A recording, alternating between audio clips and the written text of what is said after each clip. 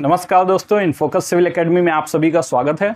दोस्तों, जैसा कि आप लोग जानते हैं कि हम लोग आर ओ परीक्षा की तैयारी के लिए डेली बेसिस पर हिंदी की बेहतरीन तैयारी कर रहे हैं, जिसमें हम लोग न केवल प्री परीक्षा के लिहाज से इंपॉर्टेंट सेगमेंट्स को कवर करते हैं, बल्कि साथ ही मेंस परीक्षा में भी जो पूछे जाने वाले निबंध का प्रश्न पत्र है या फिर जो आपकी हिंदी ड्राफ्टिंग का प्रश्न पत्र है, उसमें जो मुहावरे या प्रशासनिक शब्दावली इत्यादि पूछी जाती है। तो साथ ही जो ऑब्जेक्टिव हिंदी का पेपर पूछा जाता है मेंस की परीक्षा में, उन सभी को समग्र तरीके से तैयारी करते हुए चल रहे हैं। इस क्रम में ऑलरेडी आपकी तीन से चार कक्षाएँ हो चुकी हैं। आज की इस कक्षा में हम लोग देखेंगे ये सारी चीज़ें जो आपकी बगल की स्क्रीन पर दिख रही हैं। और इसमें देखिए, हम लोग जो सबसे पहला चीज़ है, जो ऐसे कोटेशंस हम लोग डेली बेसिस पर तैयार करते हैं, जो न केवल आपके निबंध की परीक्षा के लिहाज से इंपॉर्टेंट हो सकता है, बल्कि साथ ही आप इसको जीएस मेंस के भी आंसर में लिख सकते हैं। अगर आप यूपीएससी यूपीपीसीएस या बीईओ परीक्षा की तैयारी करते हैं अब देखिए, इसमें जो आज का कोटेशन है, वो सुदर्शन फाकिर साहब का एक बहुत ही बेहतरीन शेर है। मेरा कातिल ही मेरा मुनसिफ है। मुनसिफ बोलते हैं जज को। जो आपके लोअर लेवल के जज होते हैं, उनको मुनसिफ बोला जाता है। तो मेरा कातिल ही मेरा मुनसिफ है। क्या खाक मेरे हक में फैसला देगा? अब देखिए, यहाँ पे कुछ जगहों पे ये जो है, खाक भी मिलता है यहाँ पे। क्या खाक मेरे हक में फैसला देगा? जबकि कुछ जगहों पे लिखा रहता है कि क्या मेरे हक में फैसला देगा? ये खाक वहाँ पे नहीं होता है। यहाँ पे लिखा हुआ है खाक, परंतु मेरा ये सजेशन है कि आप शायद मेरे हिसाब से, ऐसा मुझे लगता है कि ये खाक यहाँ पे नहीं होना चाहिए, क्योंकि जो एक मात्राओं का अंतर है, रदीफ काफिया उस सबके हिसाब रदीफ काफिया तो खैर नहीं है, परंतु जो मुझे लगता है कि यहाँ पर आप इसको ऐसे ही पढ़िए कि मेरा कातिल ही मेरा मुनसिफ है, क्या मेरे हक में फैसला देगा? अब इसमें सबसे पहली बात कि आप नुकताओं का ध्यान रखिएगा खास तौर जब आप शेर लिख रहे हो कोई भी तो वहाँ पर ज़रूर है, ज़रूरी है कि आप नुकताओं का ध्यान रखिए।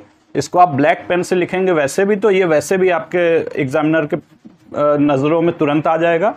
और इस लिहाज से ज़रूरी है कि आप जैसे कातिल में है, मुनसिफ में है, खाक में है, हक में है, फैसला में है तो इन सभी का एक नुकताओं का ध्यान रखिएगा। सुदर्शन फाकिर साहब का शेर है। अगर इसका हम लोग ये बात करें कि इसमें प्रासंग मतलब ये कहाँ पर इसका संदर्भ आता है तो देखिए, दरअसल न्याय व्यवस्था पर चोट की गई है। इसमें कहा गया है कि मेरा कातिल ही मेरा मुनसिफ है। दरअसल इसमें यह नहीं कहा जा रहा है कि जो जज सामने बैठा है, वही उसी ने वही मेरे साथ अपराध किया है या मेरा कातिल है। वो दरअसल ये कहा जा रहा है कि उन लोग का आपस में इतना जो गठजोड़ है, आमतौर पर ये देखने को मिलता है कि जो न्याय जिनको करना है, जो जिम्मेदार पदों पर बैठे लोग हैं, वो खुद ही दरअसल जो अपराधी वर्ग है या जो रईस या रसूखदार वर्ग है, उनके साथ में उनका एक ठीक ठाक गठबंधन रहता है। तो इसी पर चोट करते हुए सुदर्शन फाकिर साहब कह रहे हैं कि मेरा कातिल ही मेरा मुनसिफ है, क्या मेरे हक में फैसला देगा? मतलब कि जहाँ पर ऐसा गठजोड़ दिखेगा, जहाँ पर भी सत्ता या जिम्मेदार पदों पर बैठे लोग या फिर न्याय व्यवस्था के लोग जब भी अपराधियों के साथ में मिलजुल कर रहेंगे तो वो वहाँ पे फैसले की संभावना तो वैसे भी क्षीण हो जाएगी। जहाँ पर आप इस तरह का गठबंधन देखते हैं तो वहाँ पे आप बहुत ज़्यादा ईमानदारी की उम्मीद नहीं रख सकते हैं। तो ऐसे ही करके एक न्याय व्यवस्था पर चोट की गई है। तो इसको आप जो है न्याय व्यवस्था से रिलेटेड कई सारे आपके कोटेश निबंध आते हैं, या फिर आपके जीएस मेंस में भी आंसर्स पूछे जाते हैं क्वेश्चंस पूछे जाते हैं, उनमें भी आप इसको आसानी से कोट कर सकते हैं। उसके बाद देखिए अगला जो हमारा है, शुद्ध अशुद्ध शब्द। इसमें देखिए पहला वर्ड है सौहार्द्र। तो देखिए सौहार्द्र एक बहुत कॉमन वर्ड है, जिसको ज़्यादातर लोग इसी प्रकार से लिखते हैं सौहार्द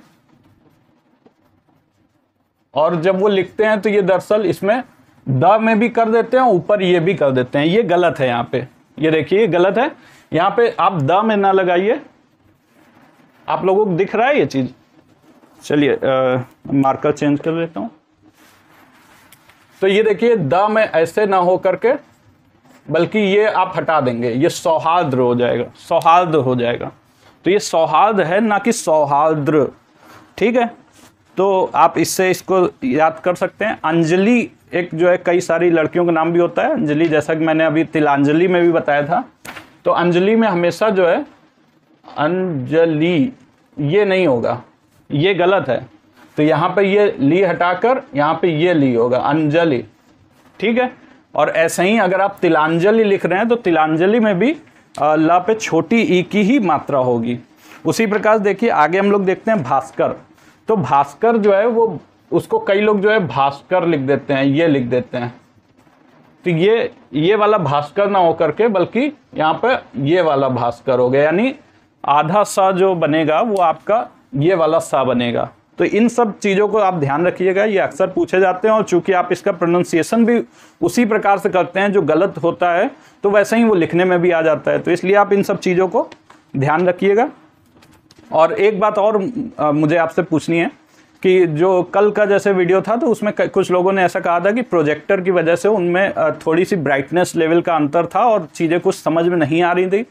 तो आज जो मैं जिस तरीके से पढ़ा रहा हूँ, क्या ये आप लोगों के लिए ज़्यादा उपयोगी है या फिर मैं पुराने तरीके से वही प्रोजेक्टर पे ही पढ़ाऊँ, वो ज़्यादा आप लोगों के लिए उपयोगी होगा? ये आप लोग कृपया कमेंट करके हमें बताएँगे, जिससे कि मुझे एक स्थिति स्पष्ट हो सकेगी। तो चलिए अगला देखते हैं, तद्भव तत्सम। तो तद्भव है सबसे पहला देखिए आँख। तो आँख का तद्भव आँख का जो तत्सम है सॉरी आँख का जो तत्सम है वो होता है अक्षी। अक्षी। तो अक्षी का तद्भव जो होता है अक्षी से ये आँख बन गया है।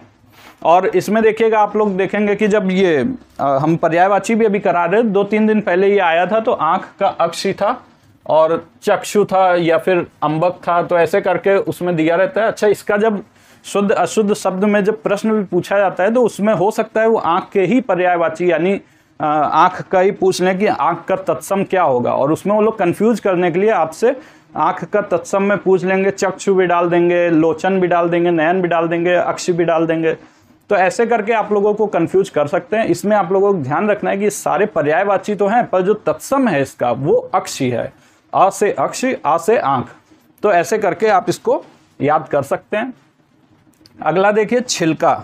छिलका को संकल बोलते हैं। तो संकल, छिलका लगभग ये मिलता जुलता है बोलने में भी तो इसको आप ऐसे याद कर सकते हैं। छिलका को संकल और पतला। पतला जो है, वो प्रतन को बोलते हैं। ये एक इंपॉर्टेंट शब्द है, नया शब्द है, जो आप लोग सीख रहे होंगे। तो प्रतन को जो है, वो इंपॉर्टेंट बोलते हैं। प्रतनु प्रतनु को सॉरी प्रतनु मतलब पतला। प्रतनु, ठीक है? उसके बाद देखिए, वाक्यांश के लिए एक शब्द में अगर हम लोग आते हैं तो वाक्यांश के लिए जो एक शब्द हम लोग पढ़ना है, उसमें देखिए, सबसे पहला है मदिरा पीने का प्याला। तो मदिरा पीने का प्याला जो है, उसको चषक बोलते हैं, चषक। और यहाँ पर देखिए, चषक में ये वाला सा है, और इसमें जो है, हो सकता है वो ऑप्शन में आपके ये भी सा रख दें, ये भी सा रख दें। तो वो सब आप लोग देखते रहिएगा। तो थोड़ा सा इन सब चीज़ों पर भी ध्यान दें, या फिर हो सकता है शुद्ध अशुद्ध में ही पूछ लें। तो आप लोग अब से जब भी कुछ ऐसा पढ़ रहे हैं तो उसमें शुद्ध अशुद्ध का विशेष ध्यान रखें। ठीक है? उसके बाद है जो अनुभव करने योग्य है। अनुभव करने योग्य है मतलब उसको बोलते हैं संवेद्य। संवेद्य। तो ये देखिए आपका जो संवेदना शब्द है, संवेदना शब्द से बना है संवेद्य और इसका मतलब होता है कि जो अनुभव करने योग्य है। ठीक है? उसके बाद देखिए कि ऐसी प्रशंसा जिनसे निंदा का भाव निकले। ऐसी प्रशंसा जिससे निंदा का भाव निकले। तो अब देखिए एक अपस्तुति।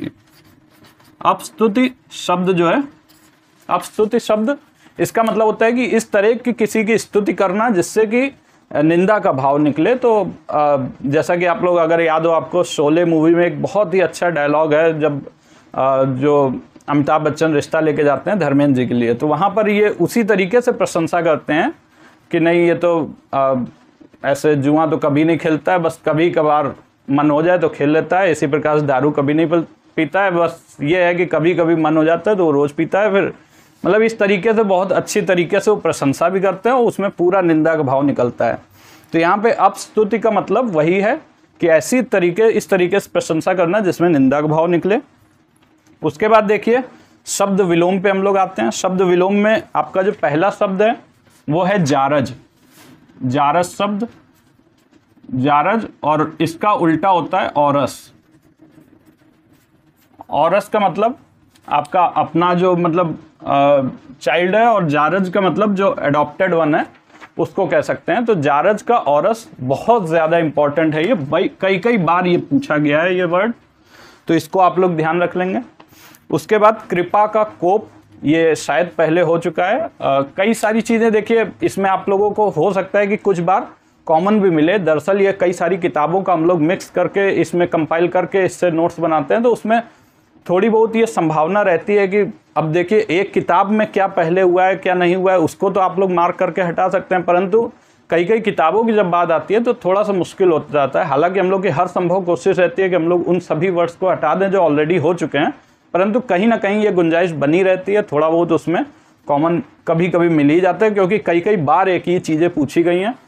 तो देखिए, कोप का कृपा, ये विलोम शब्द है, कृपा करना कोप। उसके बाद देखिए मसृण मसृण एक वर्ड है। मसृण, ये भी कई बार आपका पूछा गया है।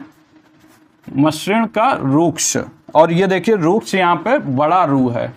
ये आप लोगों को ध्यान रखना है, मसृण का रूक्ष। ये कई कई बार ये भी वर्ड पूछा गया इसको भी आप लोग ध्यान रखिएगा। उसके बाद देखिए, जो महत्वपूर्ण पर्यायवाची है, उस पर बात करते हैं। तो देखिए, ये जो आपका आज वाला पेज है, ये दरअसल पहले आपको जो हमारा टेलीग्राम ग्रुप था, उसमें ये दिया जा चुका है। परंतु चूँकि अभी हम लोग का वीडियो के माध्यम से ये प्रोग्राम अभी शुरू हुआ है तो इसमें हम लोग एक बार फिर से दो दिन लगभग हम लोग नया कराएँगे, एक दिन हम लोग जो पुराना पहले करा चुके हैं, उसको भी कराएँगे ताकि जो नए आए बच्चे हैं, उन लोगों को भी लाभ हो सके और जो पुराने बच्चे हैं, उन लोग को भी कोई बहुत ज़्यादा हानि ना हो। वो भी लोग ये सोचें कि आप इसको रिवाइज कर रहे हैं। तो इस तरीके से आप लोगों के लिए भी सारी चीज़ें यहाँ पर फ़ायदेमंद ही रहेंगी। और देखिए पर्यायवाची पे अगर हम लोग आते हैं तो सबसे पहला पर्यायवाची जो आप लोगों को इधर दिख रहा है, वो है व्योम। व्योम का अभी हम लोग जैसे आकाश जो है, ये आपका अभी शायद कुछ दिन पहले ही कराया गया था। इसमें आकाश जो है वो उसी को व्योम कहते हैं। अंबर, नभ, अभ्र अभ्र ये वर्ड जो है हमारे ख्याल से वहाँ उस दिन हम लोग नहीं सीखे थे। तो आप उसमें जाके ये नोट कर लीजिएगा या फिर आज वाले में इसको देख लीजिएगा। तो ये अभ्र जो है अब्र का मतलब भी आकाश होता है, व्योम होता है। दिव, अनंत, गगन। ठीक है? तो ये सारे वर्ड जो है वो व्योम के पर्यायवाची हैं। नभ से मिलता है अब्र, नभ, अब्र, इसको आप ऐसे याद कर सकते हैं। और बाकी अंबर, आपको पता ही है कि अंबर का मतलब आकाश भी होता है, और अंबर का मतलब कपड़ा भी होता है। उस दिन भी मैंने बताया था आपको। और अनंत, गगन, ये सब तो कॉमन है। दिव एक आपको याद करना है, ठीक है? उसके बाद देखिए घर। तो घर का देखिए, घर का जो पर्यायवाची है, उनमें आयतन हो गया। आयतन, निलय, आगार। आगार, आलय और ओक। ये पाँच पर्यायवाची हैं, ज़्यादातर आ से ही हैं इसमें। आयतन, आगार, आलय, ओक। आलय जैसा कि आपका विद्यालय वगैरह से बनता है, आगार आगार हो गया। आयतन आयतन को आप ध्यान रखिएगा, आयतन थोड़ा सा नया है इसमें। ओक ओक भी नया है तो आयतन, निलय, आगार, आलय, ओक। ये पाँच पर्यायवाची हैं। और जीव की अगर बात करें तो जीव में ज़्यादातर ये रस से ही मिलता जुलता है तो रसना। रसना का मतलब जीव होता है। रसज्ञा तो रसना रस दरअसल टेस्ट से समझ लीजिए आप उसको तो रसना, रसज्ञा, रसिका, ये तीनों जो है वो मिलते जुलते हैं, इसीलिए इनको एक लाइन में भी लिख दिया गया है, ताकि आप लोगों को याद करने में आसानी रहे। चंचला चंचला का मतलब भी जीव होता है, और चंचला का एक मतलब बिजली भी होता है। तो आप लोग ये भी ध्यान रखिएगा, चंचला जो है, उसका एक मतलब जीव होता है और एक मतलब होता है बिजली। बिजली भी आपको पता है चंचल है, कभी आती है, कभी नहीं आती है। आजकल तो खैर पूरी आ रही है, पर पहले का जो समय था, आज से करीब सात आठ साल पहले, उस समय में कुछ ज़्यादा ही चंचला हुआ करती थी। और जिहवा तो आप लोगों को पता ही है, जिहवा तो बहुत कॉमन वर्ड है। तो जीव का रसना, रसज्ञा, रसिका, ठीक है? कई सारी लड़कों, लड़कियों का नाम भी होता है रसिका। और रसना तो आप लोगों को पता ही है, आता ही था बहुत ज़्यादा। तो रसना, रसज्ञा, रसिका, जिहवा और आपका चंचला। ठीक है ये पाँच आपके जीव के पर्यावाची हो गए। डेली बेसिस पे आप लोगों को केवल तीन तीन दिया जा रहा है। बहुत ज़्यादा अभी बर्डन नहीं डाला जा रहा है ताकि आप लोग जैसे ही आपका नोटिफिकेशन आता है या कुछ भी ऐसी हलचल होती है कि नोटिफिकेशन आने वाला है अभी इतने दिनों में तब आप लोगों को इसके जो आ, मात्रा है वो और बढ़ा दी जाएगी ताकि आप लोगों को वैसे भी आपके पर्यायवाची वगैरह ये बहुत ज़्यादा दिन तक नहीं चलेंगे। तो जब ये ख़त्म हो जाएगा तो इसकी जगह पे जो अन्य सेगमेंट है, वो भी यहाँ पर ले आएँगे। फ़िलहाल देखिए कि जो प्रशासनिक शब्दावली है, आपकी मेंस परीक्षा में पूछी जाती है, और 20 नंबर का ये आता है। बहुत ज़्यादा कन्फ्यूजिंग होता है। इसको डिट्टो एकदम वैसे ही के वैसे याद करना रहता है, और शब्द में ज़रा सा भी हेर फेर नहीं हो सकता इसमें। तो कॉग्निजेबल ऑफेंस जो है, ये सबसे पहला वर्ड है। ये आप लोग कई बार देखते होंगे कि कॉग्निजेबल ऑफेंस जो है, ये पेपर वगैरह में भी लिखा, लिख के आता है। तो यानी संज्ञेय अपराध इसको बोलते हैं। जो एग्जैक्ट इसका वर्ड है, वो है संज्ञेय अपराध। संज्ञेय। और इसको कॉमन तरीके से आप ये समझिए कि संज्ञेय मतलब जो जैसे बहुत ज़्यादा जो जघन्य टाइप के अपराध हैं या जिनमें बेल नहीं मिलती है, इस टाइप के आप समझ लीजिए कि संज्ञेय अपराध बोलते हैं कॉग्निजेबल ऑफेंस बाकी लॉ टर्म वो अलग होगी, पर मैं ये कॉमन जो आपका बता रहा हूँ कि संज्ञेलेबल संग सॉरी कॉग्निजेबल होता है नॉन बेलेबल एक वर्ड होता है तो उस टाइप में इसको देख सकते हैं कंपोजिट अपराध होता है। फ़िलहाल कॉग्निजेबल ऑफेंस मतलब संज्ञेय अपराध। ऑक्ट्रोई ऑक्ट्रोई एक वर्ड है ऑक्ट्रोई देखिए। ऑक्ट्रोई जो वर्ड है, इसका मतलब होता है चुंगी। ऑक्ट्रोई वर्ड का मतलब होता है चुंगी, ठीक है? और ये एक प्रकार का कर होता है, चुंगी कर। तो वो ऑक्ट्रोई जो है, उसी को बोलते हैं। कॉमर्स वाले लोग इसका नाम सुने होंगे ऑक्ट्रोई का। ये पहले आपके अकाउंटिंग में आता था और फिर तो इसको हटा दिया गया। उसके बाद देखिए, code of conduct. Code of conduct जो एक वर्ड है, उसका मतलब होता है आचार संहिता। ठीक है तो आपका जब भी चुनाव आता है तो उस समय में ये वर्ड बहुत ज़्यादा फ़ेमस हो जाता है code of conduct code of conduct का मतलब होता है आचार संहिता। ठीक है, उसके बाद देखिए, मुहावरे और लोकोक्तियाँ पे अगर हम लोग बात करें तो मुहावरे और लोकोक्तियाँ भी आपकी मेंस की परीक्षा में पूछी जाती हैं। इनमें हम लोग देखें, सबसे पहला है गोटी बैठाना। गोटी बैठाना का मतलब युक्ति सफल करना ये दरअसल आपके जो शतरंज खेला जाता है, शतरंज से ही ये वर्ड निकलता है, ये मुहावरा निकलता है, गोटी बैठाना। मतलब अपनी गोटियाँ सजा दी इस तरीके से। तो मतलब कोई ऐसी ट्रिक लगाना, कोई ऐसा जो अपना काम निकालना, अपना काम साधना तो उसको कहते हैं कि अपनी युक्ति को सफल करना, उसको बोलते हैं कि गोटी बैठाना। उसके बाद देखिए, कलेजा मुँह को आना। कलेजा मुँह को आना मतलब एकदम जो है, आप बहुत ज़्यादा घबरा जाना। आपका जो है, कलेजा बहुत ज़्यादा घबरा जाए तो उसको बोलते हैं कि कलेजा मुँह को आना, बहुत ज़्यादा घबरा जाना। अगला देखते हैं कि घड़ों पानी पड़ जाना। घड़ों पानी पड़ जाना मतलब बहुत ज़्यादा लज्जित हो जाना। मतलब इतना ज़्यादा घड़े भर पानी पड़ गया कि आप बहुत ज़्यादा लज्जित हो गए। आप ऐसी एक इमेज बना सकते हैं कि आपके ऊपर जो है, कहीं आप जा रहे हैं और बहुत ज़्यादा पानी पड़ गया, उससे आप बहुत लज्जित फील कर रहे हैं। ऐसा करके आप कुछ एक सोच सकते हैं। याद करने के लिए इसको। तो फ़िलहाल आज का जो हमारा डे था, उसमें इन सारी चीज़ों को हमने कवर किया। और घड़ों पानी पड़ जाना, मुहावरा, मुहावरे हम लोग ने तीन देख लिए प्रशासनिक, ये सभी अभी हम लोग तीन तीन करके चल रहे हैं। धीरे धीरे इनकी संख्या बढ़ाती रही जाएगी, जो कि आप लोगों के जब आप लोगों को फाइनली पेपर होगा। अभी आप लोगों को पेपर होने में काफ़ी समय है। मई, जून तक, अप्रैल, मई तक आपका पेपर होगा। तब तक आप लोग तीन तीन के हिसाब से बहुत ज़्यादा आपके पास भंडार हो चुका होगा। ऐसी मेरी आशा है और उम्मीद है कि आप लोगों को हमारा ये जो प्रोग्राम है, ये आप लोगों को फ़ायदेमंद दिख रहा होगा। बहुत बहुत धन्यवाद। नमस्कार।